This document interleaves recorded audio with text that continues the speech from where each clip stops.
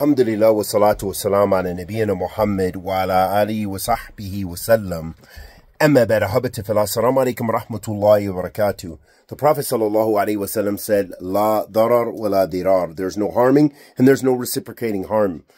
And so from this hadith of Rasulullah sallallahu alaihi wasallam, we learn the importance of that it is not necessary to take vengeance on people and always uh, react to someone else's harm. So, for example, someone could speak ill to you, someone could attack your honor, and it's not always necessary to respond.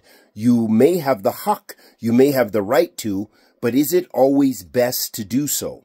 And so the Prophet ﷺ mentioned that there is no harm and there is no reciprocating of the harm, and that la darar wa la dirar. And from this is a qaida shar'iyya, is a sharia based principle, and we ask Allah subhanahu wa ta'ala the Almighty to accept our good and forgive our evil.